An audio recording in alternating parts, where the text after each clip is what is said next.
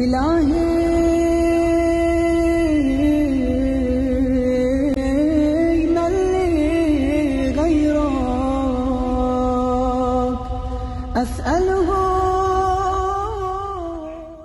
Assalamu alaikum, brothers and sisters. My name is Wissam Bazzi, and welcome to Brother to Brother. On today's episode, we're going to talk about football, and we have a great guest for you here today with us in the studios, Haj Fuad Zaban. Welcome to the show. Thank you very much, uh, uh, Haj Bissam. Uh, I really appreciate your uh, invitation to come here and uh, speak with you today. Well, we, we, we are glad and honored to, that you can attend here with us today, and we're going to delve into the questions here right away. I want to get your outlook on some of the things and uh, where you grew up, how you grew up, and how, where did the love for football really start? Well, you started with where uh, I grew up and um, how I grew up and uh, where did the love start. Basically, uh, coming from Lebanon, um, I was around five years old when we got here, and uh, I grew up in the south end of Dearborn. Uh, and that, that has a special place in our heart, um, whoever has come from there. And really, this is where I've uh, gotten into the athletics and in football. But uh, football was just a minor thing. Uh, there was many things that we did over there. We had uh, a community center over there that was um, the name I believe was uh, the Joe Hamoud Center. It was named after the late Joe Hamoud, who was uh, one of the first uh, professional basketball players, Lebanese basketball players, um, and he was a Muslim. Um, um, and we, they named this place after him, and we basically learned a lot of uh, our athletics uh, in that area. We had uh, basketball, we played football, we played uh, softball. Uh, we mentioned earlier when we were talking that uh, there was a boxing ring there that they had, and uh, we boxed. You know, we, So you guys yeah. actually boxed. We had a How old were you? Uh, well, I would say I was maybe um, fourth, fifth, sixth grade, Okay. uh, and, and seventh grade. As a matter of fact, um, you know, we had a coach there, we had, you know, trainers there. Um, one of uh, the products of the Joe Hamoud Center was, uh, if I don't know if you've heard of him, but his name is uh, Brother Tariq Salamasi. Um, he, he, he turned professional. He uh, uh, fought for a few years. Uh, we, we've had several brothers that uh, have come out of the, the South End that had boxed. So uh, that's where we got our start from. Alhamdulillah. Now, backstage, we actually mentioned you, you, you got to a point where it was boxing or football. And you, give, give me what happened there. Well, I guess my love for football just uh, grew, and uh, my boxing. Uh, I mean, I loved it, and I, I, I was pretty good at it. I just, uh, I don't know, football. You, you needed the commitment. You needed. It was a full time thing, and I think boxing is the same way. But I just felt that uh, um, committing to football was better for me. Alhamdulillah. Now, when did you first start actual football? Like, actually, you you put on the helmet, you put on the pads, you put on everything, all the gear. When was the first time you that happened? Well, my first experience with football, now not with a uniform yet, um, was with um, what they called the Dearborn Mustangs. Um, one day, uh, I had a friend of mine who lived in the South End, and he was going to play for this little league program called the Dearborn Mustangs, and um, it was the practice was at Ford Woods Park, and never being out of the South End, went to Ford Woods, practiced, enjoyed it, but my friend and his family left me, and or maybe I just got lost or wha- whatever uh, the situation might have been. And this is your Um, first experience. This is my first experience of trying to play organized uh, football. So uh, from that day on, I never played no more little league. was it because of your parents? They didn't watch it? well, I think I got scared a little bit Okay. um, of Okay. of the distance of going to Okay. Ford Woods, and uh, my parents also were not. We're not too happy about what happened. My first experience in actually playing football organized was uh, was at Salina Junior High, um, uh, my seventh grade year. This is where I actually put on a helmet, shoulder pads, uniform, and and uh, played. So now, so now you're in junior high. Talk to me about those years and how tho- th- that progressed. Well, in junior high uh, at Salina, um, we didn't have the best teams. Traditionally, they didn't win too much. Um, but my seventh grade year, we had a good group of uh, football players, and uh, we actually did a pretty good job, and we won a few games. Heading into my uh, eighth grade year, uh, we didn't win a game.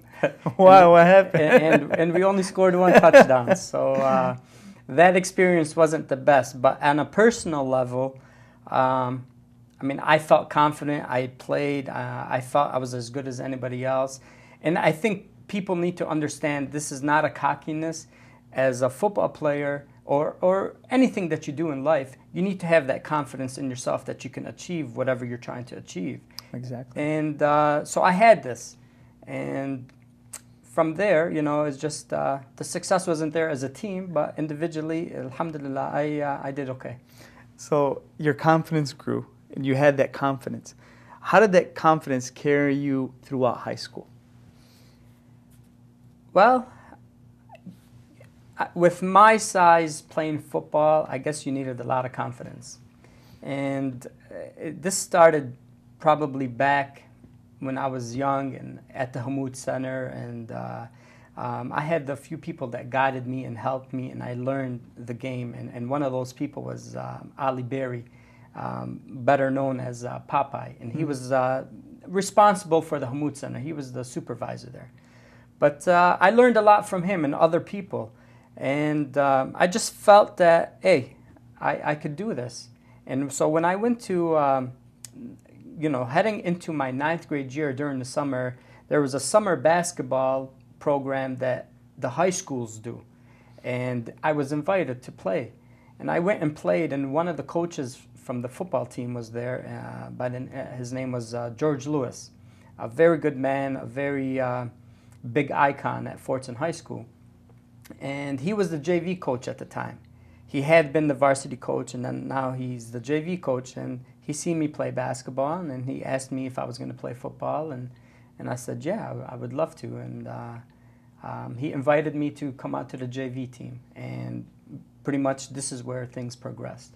So the, the coach handpicked you almost, said, hey, we, we got something here. Uh, I, don't necessarily think he handpicked me. well, but, I'll say uh, that. I just think that, um, you know, as coaches, and I do this now, you see somebody like, for example, I teach phys ed. Um, and if I see somebody with some athletic ability, um, I'll approach him and you try to talk to him and make sure that he, you know, he's uh, he's out there and gonna play for you and uh, you know go from there. So I'm pretty sure this this is That's uh, what he- that's something what he that he did. so now he wanted you actually play JV. That was that's is that what you that's what you mentioned, right? Yes, So now um, you're playing as a freshman. You're playing JV. yes. Talk to me about those dynamics of being on the JV team. You know, the good thing about that was that there was a lot of uh, players on the JV team that I had played with at Salina Middle School. So I think that helped the transition because you know you're playing with older guys. You know it's it's a little difficult. You don't have many friends, but um, I'll say Alhamdulillah that I had a lot of friends from from middle school that played, and also I liked that competition. I like that challenge to to see if I, if I can compete against this guy or if I was better than this guy. So uh, it's you know pretty much this is what it was, and uh, and, and things worked out. Alhamdulillah. So now you you moved through your high school years, and you actually now got a scholarship through your football uh, career throughout uh, throughout Fordson. Then you moved to now the college years. Yes. Talk to me a little bit about that. Well, in terms of an from the athletic point of view or from football point of view, it wasn't a successful uh, career. But uh, alhamdulillah, what I could say is that uh, I was able to get my education from there, um, pretty much for free. So, uh, Alhamdulillah. so I think that was the main priority anyway. Um, I, I had an injury, a severe injury that uh, kind of limited my career, and uh, we just moved on, and uh, we learned how to become a man and uh, and uh, an adult, and to be a better person, and uh, and ultimately I gained my education. So, Alhamdulillah. So, so that was plan A, then plan B, then.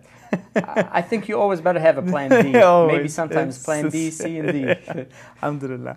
So now you move all the way back and you come around the whole circle and now you become the head coach, or not the head coach. You actually become an assistant coach, or helping out the coaches for Fordson, the Fordson Tractors, Yes. which is a local school here. Um, how did that happen? I would say that uh, Coach Mark Shooshanian, uh, who's a city councilman here now, he was probably one of the biggest influences on me in deciding to become a coach. Um, he was a- great mentor. He was a, a, a great teacher to me. He was a, a great friend. Um, he even took time away from his family or even brought his family up to visit me at school when I was at Grand Valley. So I think he was the main person that influenced me to head that way. And coming back, you know, not that I wanted to coach football because I always enjoyed basketball. I always enjoyed the strategy of coaching basketball, the the transition in the game. So that was my kind of kind of my focus. Even though I did that, um, ultimately things grew and evolved into becoming uh, more concentrated on football. How, how did that feel though, helping out the coaches and assisting them and You know, what happened was I have a lot of pride and I have a lot of love, number one, for this community, and number two, for Fordson High School. Um, Fordson has done so much for me, and I felt the only way I can do anything was to, to give back. And one of the avenues was to become a teacher and to, to become a coach and try to, to influence kids the same way um, Coach Mark Shooshanian influenced me. So basically, this is what got me to that level, and uh, you know, I, and, and just evolved from there. Okay, now you're helping out the coaches. You're doing all all the things the assistant coach would do. How did you become the head football coach of the Fort, Fordson High School? Well, obviously there was a transition. Um, there was uh, we had a coach that was there for many years who I, I coached under, and he uh, moved on to a different school, and that opened up uh, the door for for myself. I had an interview, you know, with with some students, with the principal, with the athletic director, who was Mr. Uh, Mark Shooshanian, and uh, ultimately I got the job and. Uh, now the transition there was, yeah, I knew what football was. You know, I knew how to coach, um, but now there's a big responsibility. There's the tradition of the program. There's the history of the program. There's the great coaches that the program has had. So what, what am I going to do? Who am I? You know, I mean, So You big know, big shoes to fill. Alt- yeah, definitely there was some big shoes to fill. I mean, Coach Charlie Justice was uh, a tremendous coach for 20 years who pretty much put the program um, on the map. And now, you know, you know, about 20 years later, I have to do, continue this tradition. Now, what I've learned though is football is football, and the love for it I have is, you know, it just it didn't that that part of it was fun. It was exciting. Now, the, the part that was a transition for me was the administrative part. Um, you know, making sure kids are uh, on top of their schoolwork, making sure that everybody's, you know, going to be at a certain place at a certain time, taking care of uh, certain things, you know. Uh, Alhamdulillah, I have a lot of help. I have um, a lot of friends. I have a lot of family um, that are willing to help. So, and, and, and they're there.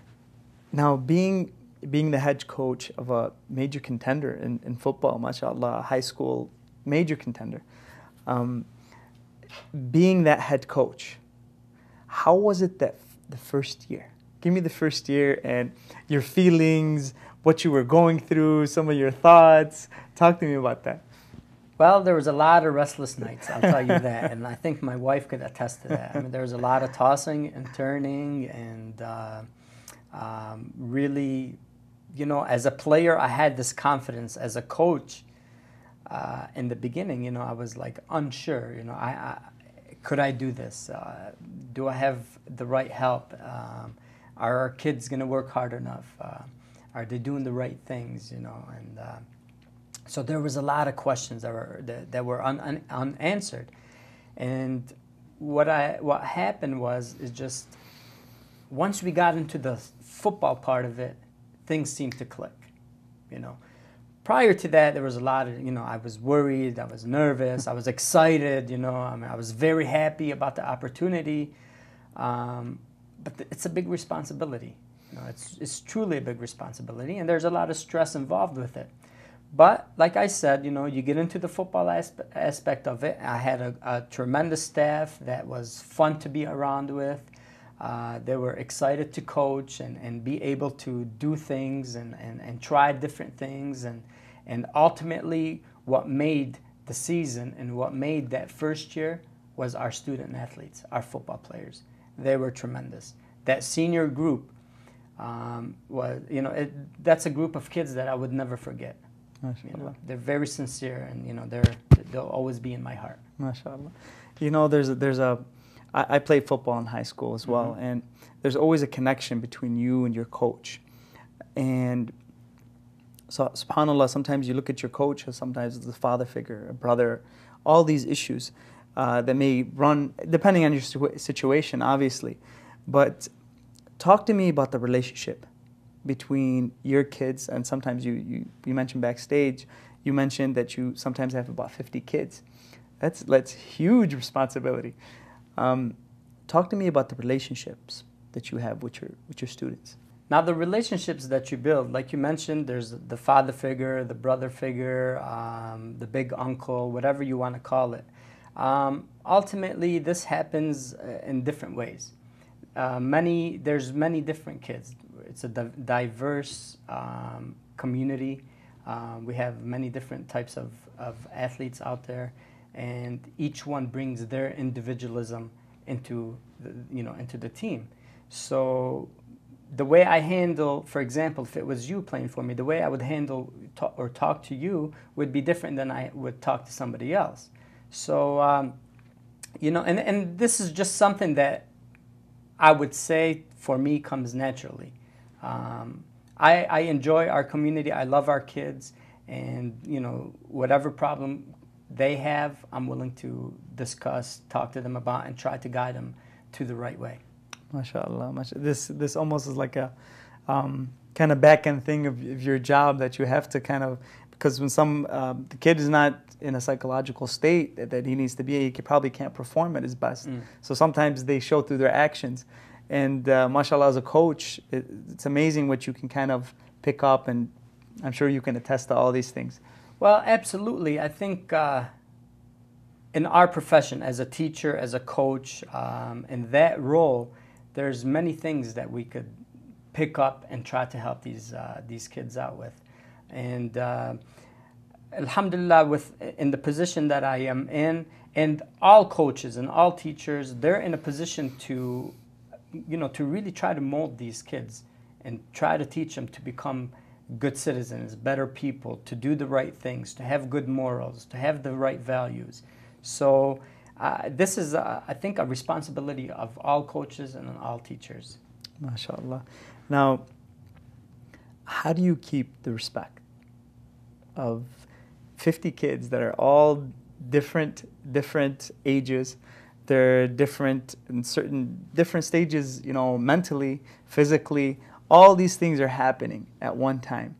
How do you keep the respect of your kids? You know, people are playing for you. Well, I think respect, many people say respect is earned. And that means if I respect you, then you'll respect me. You know? So I think this is this is the style that I use. I try to respect all our kids. I try to talk to them as men, as people, not on the same on the same level as me, not you know lower than I am or any of our coaches. So this is the way. This is you know the method that I try to use, and um, I think this is the best method personally.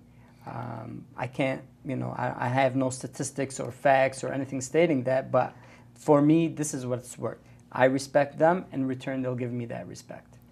Now, talk to me a little bit about the environment. Let's say fourth quarter, you're down a touchdown, you're on, you're on the one yard line, and you got three seconds left. Talk to me about those feelings. What happens to you at that point as a coach? You see your kids, they're they're fighting hard. They're trying to, okay, you know what? We're going to do this for the coach. Talk to me about those feelings. Whoa. you know, that's a, that's a that's a very good question. Very good question. You will not believe the diff- different feelings that you that you have during a game. Hmm. The ups, the downs, you know, the excitement, the nervousness, um, uh, just you know, you you. But ultimately, as a coach, what you need to do is you need to try to focus and try to concentrate on what you are trying to accomplish. You can't get too caught up in the game. And trust me, I've gotten caught up in the game many times. So, I, but I think what, what, we, what you try to do is you try to have that level head so you can think rationally and make what you feel are the, the, the correct uh, choices, maybe on defense, maybe on offense, whatever it may be. So, uh, but I mean, you know, you can throw all the adjectives in and, and say you feel those during the fourth quarter with a minute or 30 seconds left. You know, Haj, I want to ask you this question. In, in sports in general, Mhm. you learn many different things. You learn discipline, you learn um, how to deal with others, you learn so many different things that come about in being uh, on a team, Yes. being a team player. Yes. How has football affected your life in a general, in a general view? Well, I- I would have to start as a, as a player. You know, as a player, what I've learned is exactly what you mentioned. I've learned discipline. I've learned hard work. I've learned the team concept. You know, teamwork. Um, to to get th- things done in an organized fashion with with other help. And what that helps you with is this is what life is. You have to be disciplined. You know, you, you have to work with other people. You you know, you're you're, you're not going to be in a cubicle by yourself all your life and not, you know, not communicating with people. So these are, are things that, yes, all athletics teach you and all group activities teach you. So ultimately, um, what I feel is, as a coach, you know, this is what you want to try to instill. You want to teach that discipline. You want to teach that unity. You want to teach that teamwork. Um, this is where you will have that success. If everybody's working together, especially in our sport, our, our football, you know, we have 11 guys on the field, and each one has their certain responsibility that they had to do. And if one person makes a mistake and doesn't do the right thing at the right time, you know, whatever we are trying to accomplish, for the most part, is not going to work. So, teamwork is a big concept. And the discipline comes with being focused. You mentioned the fourth quarter earlier. You know, you have to be focused. You have to discipline yourself. So, you know, in football, somebody is going to try to get you to do the wrong things. They want you to run the wrong way or try to, you know, uh, push you and try to provoke you to do the wrong thing and get the penalty on you. So you have to have that discipline in order to stay away from those uh, silly mistakes, what we call them. Okay. You know, when you're in junior high hmm and you're about to go to high school, Yes. there's all these things that people throw at you. You know, oh, they're gonna do this to you. They're gonna do this or they're gonna do that. All the the the hoopla that you hear about high school. What do you advise? Let's say I'm a, um, I'm in eighth grade. Next year, hey, summer's coming up, and next year I'm going to high school.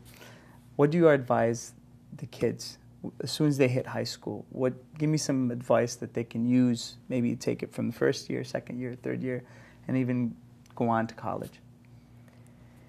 Well, that's a tough question, but uh, it's a, it's also a good question. Um, I think ultimately having pride in yourself, having that self-esteem, um, being confident in yourself, whether you're an athlete or you're not an athlete, um, being a good person, uh, these are what will help you in the year in the high school years.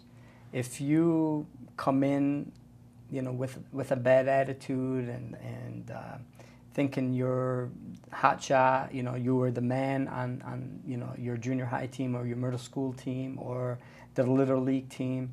Coming into high school, you know, hey, there's bigger guys, they're faster faster guys. Other young kids that are your age are developing also.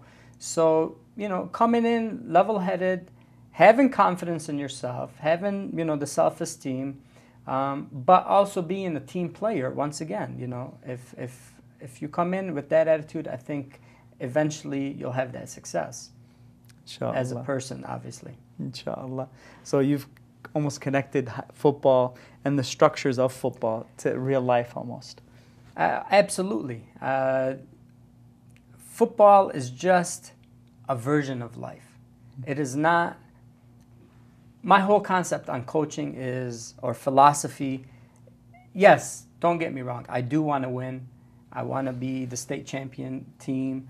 Um, but ultimately, my biggest goal is to influence these student athletes into becoming good young citizens, to have you know the morals and the values that we spoke about earlier, to do the right things, to be helpful in the community, to do community service, to help the old or the poor, whoever it may be. So uh, this is what I see, and this is why I feel this coaching thing is very important to me. You know, it's it's yes, it is football, and I do want to win, but ultimately, this is my goal. MashaAllah. So there's there's a lot of morality in that as well, mashallah. And we commend you, uh, Hajj, for coming in here and sharing your time and sharing your ideas and thoughts. And you know, as as in football or any other sport, they teach you so many different things about life, as we discussed with the Hajj. And use that as a tool. Use football, basketball, whatever it may be, as a tool to propel yourself in life. Uh, Hajj, we want to thank you for coming on, and inshallah, we'll hopefully have uh, want you to come on, inshallah, future other shows, uh, Inshallah. other shows, inshallah. Inshallah. I wanna I wanna thank you very much, and uh, I really appreciate the invitation once again, and uh, I think you guys are doing a tremendous job, and uh, thank you very much. Thank you, Hajj. Thank you. Brothers and sisters, if you have any comments, questions, or concerns, please feel free to send it to the address that's on your screen. My name is Wissam Bazzi. We'll see you next time. Wassalamu alaikum wa rahmatullahi wa barakatuh. إلهي.